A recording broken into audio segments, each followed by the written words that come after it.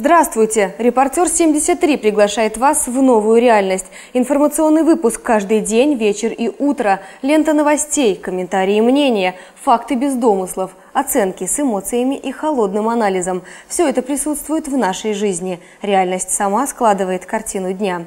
В студии Екатерина Мазуряк. Смотрите сегодня в программе. Нашли друг друга. Водитель автомашины э, ГАЗ движется по маршруту номер 71 совершил э, столкновение с движущимся впереди транспортным средством автомашиной Mitsubishi, после чего э, автомашину ГАЗ выбросил на, на полосу встречного движения. Ямы на дорогах, хамство водителей или переменчивая погода. Кого винить в ДТП? Синтетическая игла. Причем э, синтетические наркотики намного опаснее, чем э, наркотики растительного происхождения. К чему приведет и чем обернется увлечение спайсом и курительными смесями? Одеяло убежало, улетела простыня. Как объяснить ребенку, что надо мыться, что надо что-то исполнять? Ведь история именно про это. Как заставить, играя ребенка, выполнить элементарную вещь, но каждодневную. Специально ко дню рождения Корнея Ивановича Чуковского Ульяновский театр кукол приготовил премьеру – спектакль «Мой додыр». Вновь начинаем выпуск с дорожной хроники. Она все больше походит на сводки из района боевых действий с перечислением погибших и раненых. На недавнем заседании Госсовета в Ярославле президент Путин заострил внимание на главных проблемах в обеспечении безопасности дорожного движения. От компетенции водителей до состояния дорожного полотна. Ульяновск подтверждает это каждый день. Утро 23 марта, улица Урицкого. После ночного снегопада на дорогах все смешалось. Густой слой снежной каши спрятал глубокие ямы. Их местоположение даже опытные водители-маршрутчики не угадывают и боятся, ведь эти разломы с ужасающей регулярностью мелькают в трагических сводках, как причины ДТП. В очередной раз всплыли больные вопросы. Доколе? Когда отремонтируют дороги? Зимой, весной, летом? И какого года, наконец? Почему очередной снегопад застал город врасплох? Сожгли масленицу и ждали тепла? Подробности у Артема Петрова. Утром 23 марта добраться до работы или учебы вовремя смогли далеко не все, кто двигался на личном или общественном транспорте по улице Урицкого. В 8.50 движение на этом участке в прямом смысле слова остановилось. Как оказалось, две маршрутки, практически до отказа набитые пассажирами, нашли друг друга, тем самым парализовав движение. Водитель автомашины э, ГАЗ движется по маршруту номер 71 совершил э, столкновение с движущимся впереди транспортным средством автомашиной э, Mitsubishi, после чего э, автомашину ГАЗ выбросил на, на полосу встречного движения, где он совершил столкновение с движущейся в восточном направлении автомашиной Луидор. В результате дорожно-транспортного происшествия пострадал 11 человек. По словам очевидцев, от удара непристегнутые, как водятся, пассажиры маршрутных такси буквально вылетели со своих кресел. Благо медики подоспели вовремя. Состояние пациентов, обратившихся за медицинской помощью в результате ДТП на Урицкого, оценивается как легкое и средней степени тяжести. В оказании медицинской помощи было задействовано три бригады скорой медицинской помощи. Всего за медицинской помощью обратилось 12 человек. Из них 11 на месте ДТП и один из дома. По результатам осмотра пострадавших принято решение о госпитализации трех женщин в нейрохирургическое отделение Центра специализированных видов медицинской помощи. Их состояние стабильное и оценивается как средне-тяжелое. Остальные пострадавшие после осмотра отпущены домой в связи с отсутствием показаний для госпитализации. Для ликвидации последствий ДТП, помимо сотрудников госавтоинспекции, на место аварии прибыли пожарно-спасательные расчеты и несколько бригад скорой медицинской помощи. Всего 30 человек личного состава и 9 единиц техники. Что стало причиной происшествия? Агрессивная манера вождения маршрутчиков – Снежная завеса и, как следствие, практически нулевая видимость дороги. Обстоятельства предстоит выяснить сотрудникам ГИБДД. Инвест-привлекательность регионов в СМИ оценят индексом. Агентство стратегических инициатив и компания «Медиалогия» теперь будут ежемесячно обновлять рейтинг субъектов через вышеназванный индекс. В первую пятерку пилотного февральского выпуска вошли Вологодская область, Москва, Магаданская и Московская области и Пермский край. Ульяновска, как и области, в первой пятерке нет, что в принципе удивительно, ведь по многим оценкам регион уверенно держится в топе именно из-за поддержки инвесторов самого разного уровня. Крупные международные и российские компании знают и охотно приходят на нашу территорию.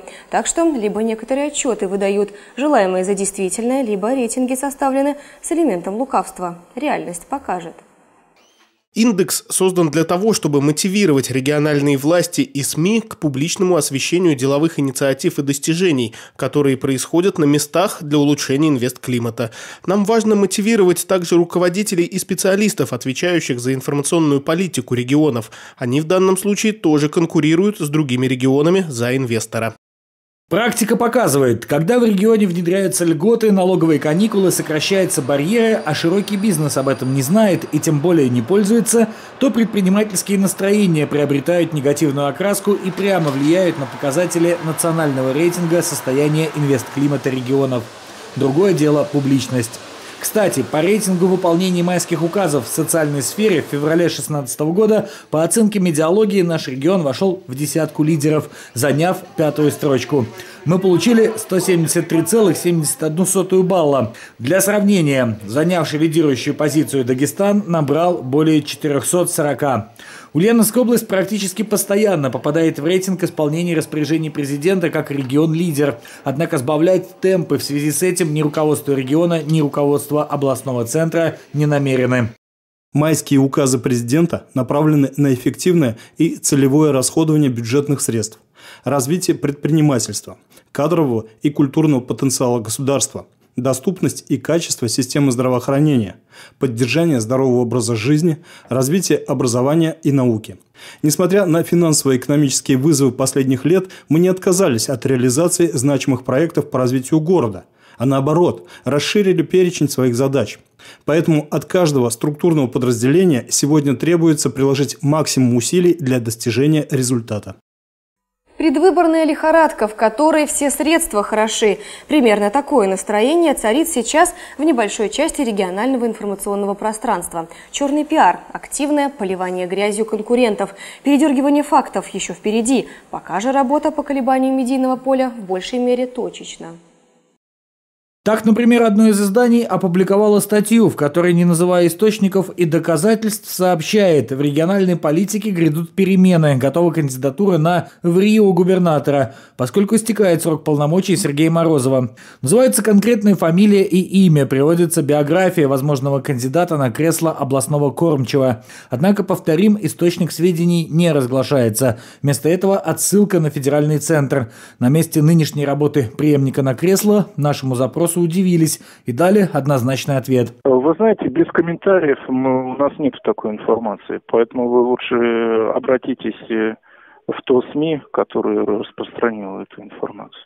Спасибо. То есть у вас такой информации вообще нет, не, нет, не нет. Без этого обращения вполне вероятно, что Олег Сафонов, заместитель директора Федеральной службы по контролю за оборотом наркотиков, так и не узнал бы, что с легкой руки провинциальных медийщиков он вот-вот займет кресло губернатора одного из поволжских регионов.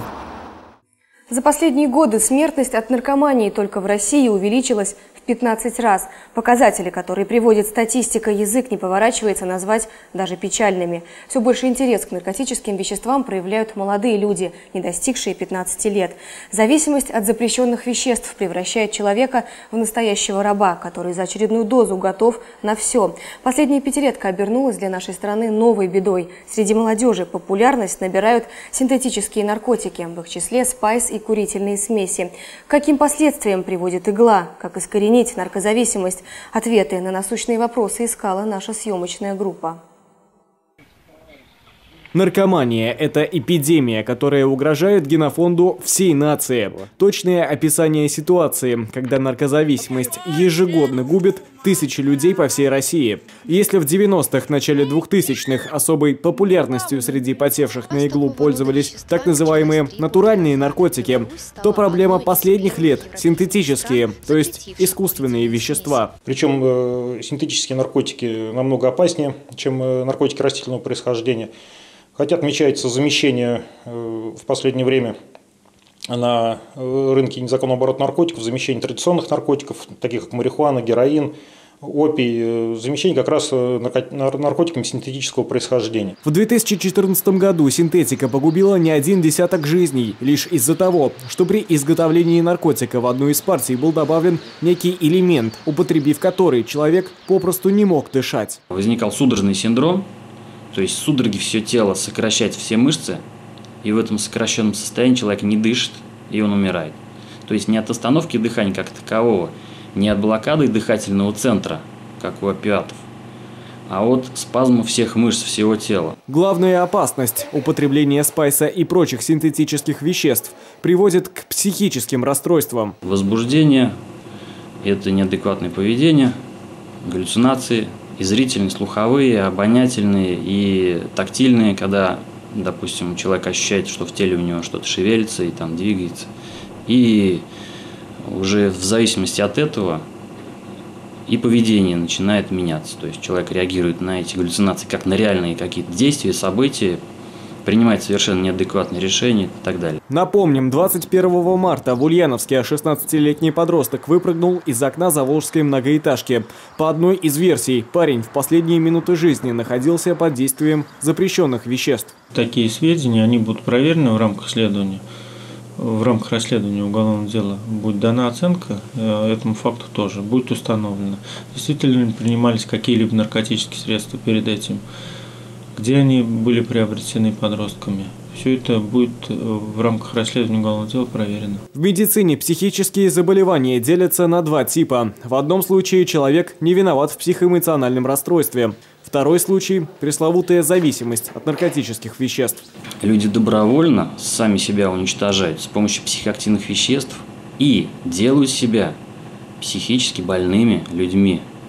У нас даже закон о психиатрической помощи один на психиатрию, на наркологию. Современные технологии, как ни печально, стали одной из основных причин массового распространения синтетических наркотиков. Активная реклама запрещенных законом веществ через интернет делает свое пагубное дело. Подростки покупают смерть, даже не выходя за порог квартиры. Но и сотрудники госнаркоконтроля не сидят на месте. За 2015 год ФСКН перекрыла 13 каналов поступления синтетики и курительных смесей. Также пресечена деятельность двух ОПГ, которые поставляли наркотические вещества оптовыми партиями на территорию Ульяновской области. За два месяца 2016-го уже выявлено 121 преступление, связанное с незаконным оборотом синтетики. Россия – родина умных людей – все-таки я думаю, что восстановится у нас баланс, будет как можно, минимум будет каких-то наркоманов и алкоголиков. Все-таки я думаю, что здоровый образ жизни, он ну, более привлекательный.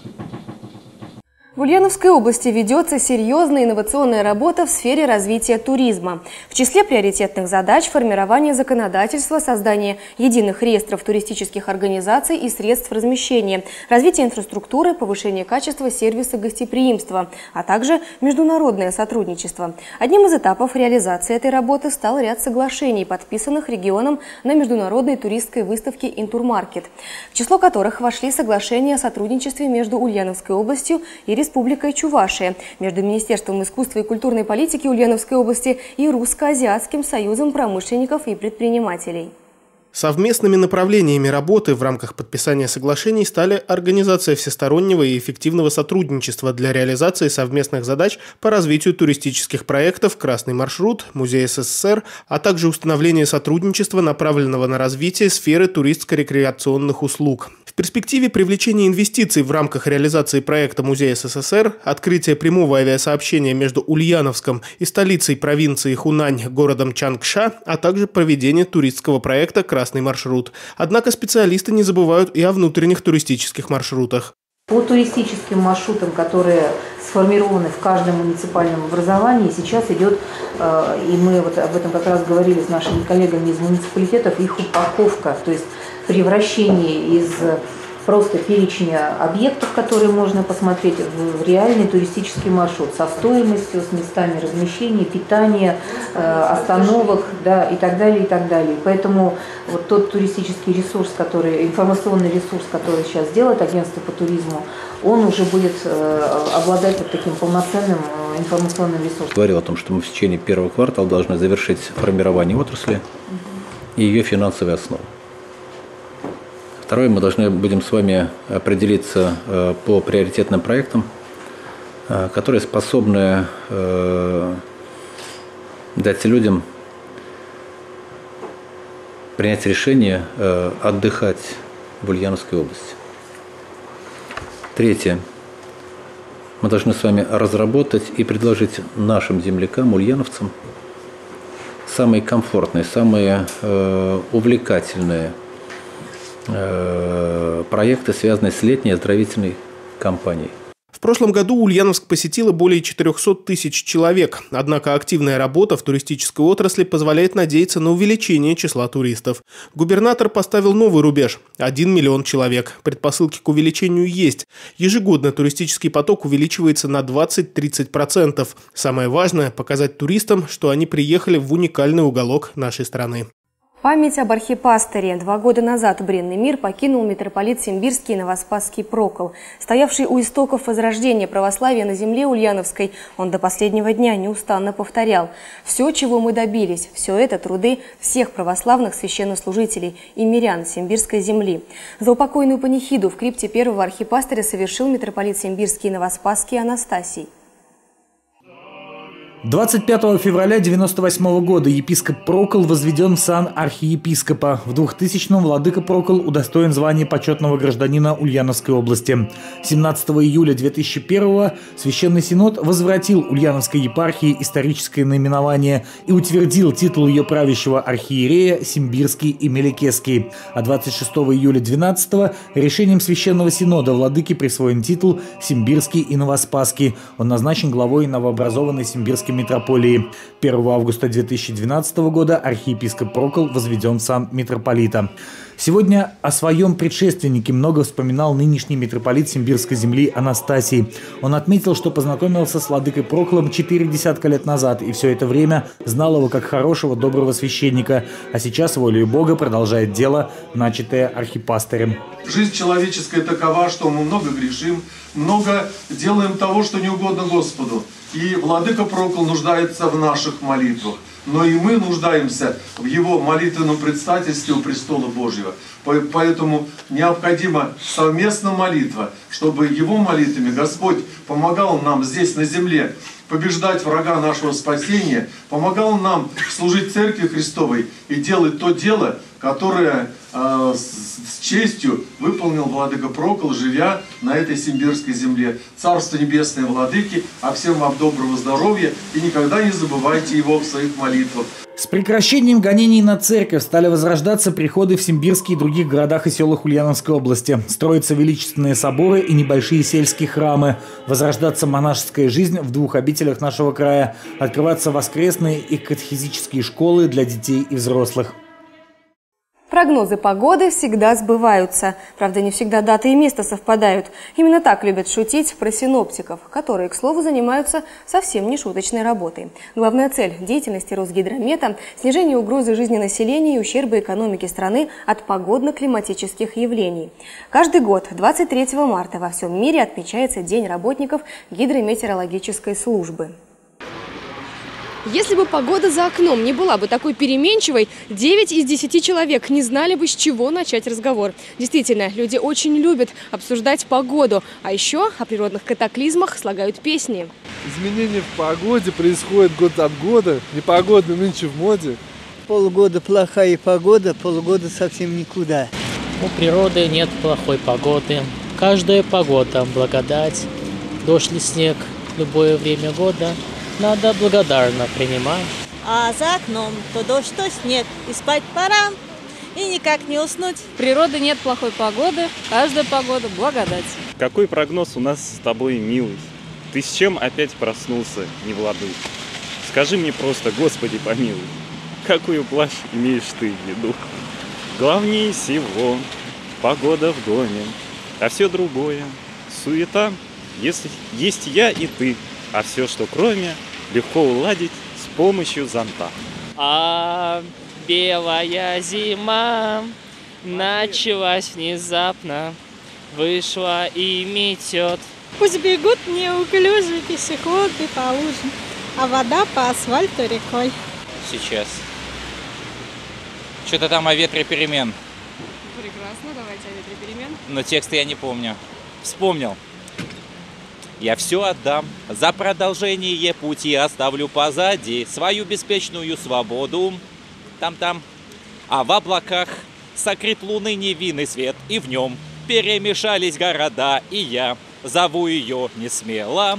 Не потерять бы в серебре ее одну заветную звезду. У, у. Тут есть небо, тут есть звезда, тут есть отношение к природе. Погода не очень. Дожди, слякоть, ноги намокли все. Почему она должна испортить настроение? Это март, он всегда такой. Главное, чтобы было настроение хорошее, а уже погода, несмотря на нее, чтобы все было хорошо. Зачем? Ну, ну капает, ну и что? Ну, почему, почему надо расстраиваться из-за этого? Полгода плохая погода, полгода совсем никуда, никуда, никуда. Ну, не буду дальше петь. Хорошо. Сегодня день синоптика. Буквально вот пару слов э, пожеланий.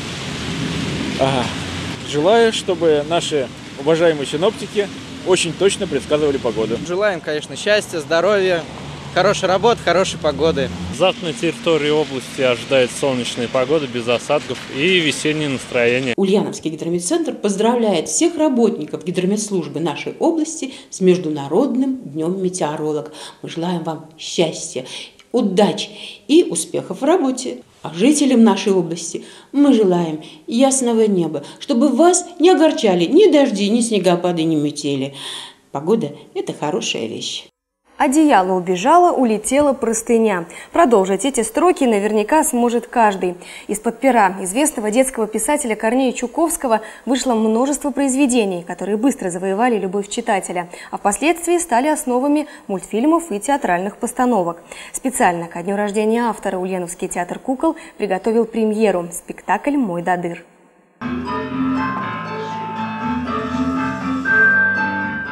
Одеяло и подушки, утюги, свечки, книжки, мочалки, умывальники и, конечно, самые главные герои – мой дадыр и неумытый мальчик. В сказке Чуковского огромное количество персонажей. На сцене театра кукол весь этот реквизит оживает силами всего лишь трех актеров. Благодаря удивительной способности быстро переключаться с одного образа на другой, им удается буквально сродниться с героями. И тем не менее задача сложная. То есть за 35 минут-40 минут мы должны рассказать историю, которая спровоцирует и маленьких, и повзрослее детишек, и родителей, и бабушек, чтобы они поняли, что... Ну вот как объяснить ребенку, что надо мыться, что надо что-то исполнять. Ведь история именно про это. Как заставить, играя ребенка, выполнить элементарную вещь, но каждодневную. Вот при помощи игры мы попытаемся рассказать. Сам Чуковский своего Мойдадыра называл наркомздравом. Написанное в 20-е годы произведение носило категоричный характер. Во времена, когда над теми, кто пользуется зубным порошком, посмеивались, а на улице было множество грязных беспризорников, призыв умываться по утрам и вечерам звучал как крик души. Уходи-ка ты домой! Да!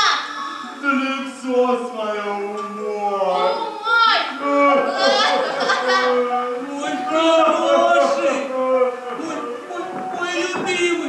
Театральная постановка максимально близка к тексту автора, но режиссер вкладывает свое понимание в диалог крокодила и мальчика. Вместо угрозы «растопчу и проглочу» неуважение к грязнуле, которое задевает сильнее. Мы решили, что кульминационная сцена, а, когда крокодил отчитывает мальчика, я думаю, что это отказ от дружбы с таким чумазом. И для мальчика это э, немало такой же колоссальный трагический момент. Ну, не трагический, драматический. Друг отказался из-за того, что я грязный. И чтобы спасти дружбу, мальчик моется.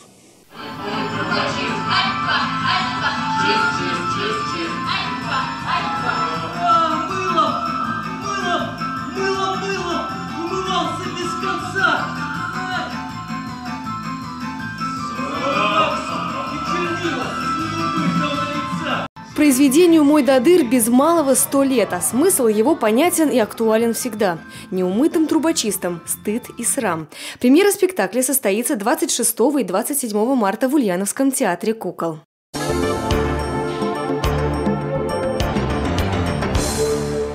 Левушкина студио. Стиль, актуальность, креатив. Здесь открываются новые горизонты парикмахерского искусства. Команда профессионалов, асов своего дела поможет создать идеальный образ на каждый день или запоминающийся для торжественных событий.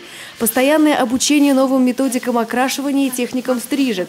Тематические дни для любимых клиентов. В Левушкина студио сделают все, чтобы вам хотелось вернуться сюда вновь. Профессиональный уход, актуальный цвет, эффектные стрижки и укладки, а также модель моделирование, окрашивание бровей, маникюр. Левушкина студио меняет образ и дарит радость. Улица Пушкинская, 4А, телефон 700949. Ваше благородие, госпожа Победа. 17 апреля на сцене филармонии проект исполнителей авторской песни «Бард Вагон» город Москва представляет новую программу «Песни бардов из советского кино». Любимые песни из кинофильмов «Белое солнце пустыни», «Бумбараш», «12 стульев», «Москва слезам не верит», «Вертикаль», «Белорусский вокзал» и другие любимые композиции. Справки по телефону в Ульяновске 70 09 49. Повезет в любви.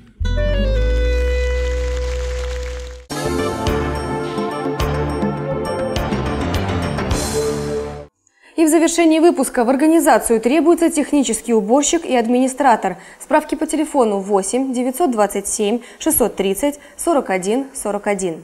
И это все на сегодня. Делайте новости вместе с нами. Звоните 30 40 73. Читайте и смотрите www.reporter73.tv. Реальность сама складывает картину дня.